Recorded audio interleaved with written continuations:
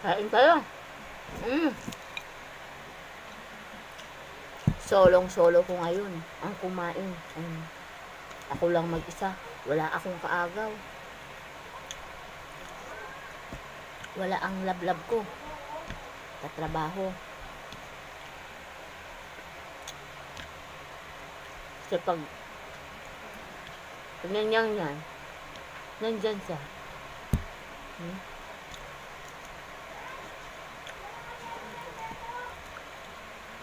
Ayan, subscribe nyo ko at paki-like nyo ako mga besi. Paki-share nyo na lang. Hmm? Tubig. Para pag nabilaukan tayo, nandyan na yan. Diba?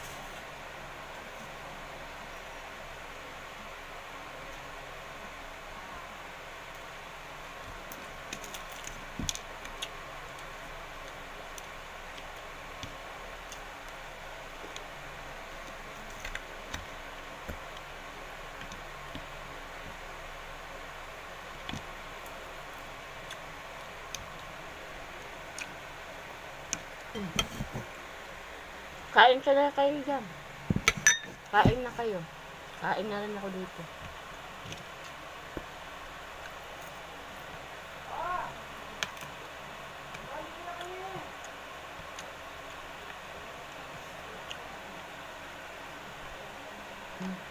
Maraming maraming salamat sa inyo guys.